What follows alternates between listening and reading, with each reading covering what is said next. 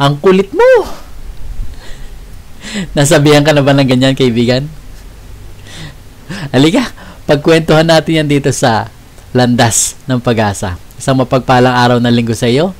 Ako si Adrian Bondok.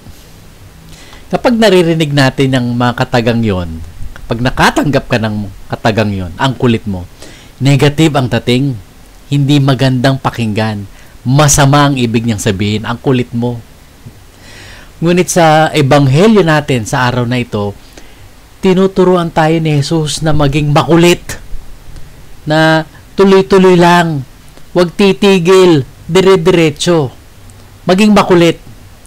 Pero, sa paghahanap ng katarungan. Ibig sabihin, ayon kay Kristo, maging makulit tayo sa paghahanap ng katarungan. Ano nga ba ang katarungan, kaibigan? Una, ang pagiging wasto or pagiging tama, katumpakan ng isang bagay, katarungan. Sa buhay pananampalataya natin, ang katarungan o hustisya ay ang palaging pagtupad sa mahal na kalooban ng Diyos o yung tinatawag nating will of God. Yan ang katarungan, no? So, sa pagbasa natin sa araw na ito, tinuturuan na tayo ni Jesus, manalangin tayo palagi. Makulit. Palagi. Huwag titigil. Dire-diretso lang.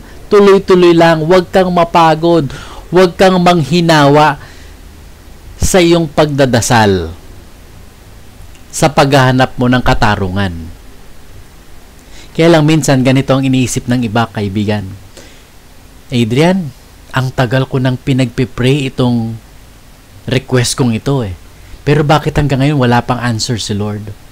Adrian, pinagnunubihin ako naman itong petition ito. Bakit hindi dininig ni Lord ang aking panalangin? Well, ang sagot dyan is, makatarungan ba ang iyong panalangin? Sa iyong pagdadasal ba ay hinanap mo ang katarungan? Ano uli ang katarungan? Wasto Tama. Ang, ang, ang panalangin mo ba ay wasto para sa iyo? Tama para sa iyo. At ang, pin, ang, pinaka-importante, ang panalangin mo ba ay uh, napapaloob dun sa kalooban ng Diyos. Minsan kasi, pagka nananalangin tayo, akala natin, wasto para sa atin. Gusto natin para sa atin makakabuti para sa atin. Yun ay according sa atin. Pero tandaan natin, mas matalino ang Diyos, mas mabuti ang Diyos. Alam niya kung ano yung wasto para sa atin, alam niya kung ano yung tama para sa atin, alam niya kung ano yung makapag papabuti sa atin. Kaibigan, ang Diyos hindi kagaya nung nasa pagbasa natin ngayon ay hindi siya masamang hukom. Siya ay isang mabuting Diyos.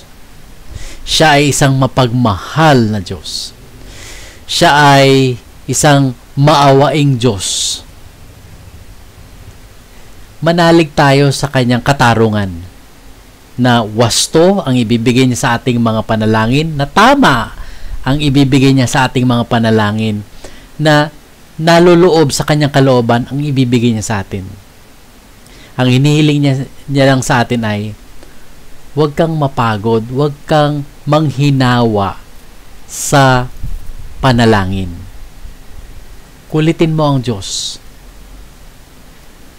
At sabi nga sa panghuling ah, bahagi ng ating ebanghelyo, manalig ka sa Kanya. Manalig ka na siya ay mabuti, na siya ay mapagmahal, na siya ay maawain, at ibibigay niya sa iyo ang hinihingi mong katarungan. Maraming salamat kaibigan sa pakikinig mo sa aking reflection ngayong araw na ito. Kung ikaw ay na-bless ng video ito, maging boses ng pag-asa. Paki-share ang video ito at paki-like na rin ang Facebook page ng Pathways of Hope. Muli, ako si Adrian Bondok. God bless you!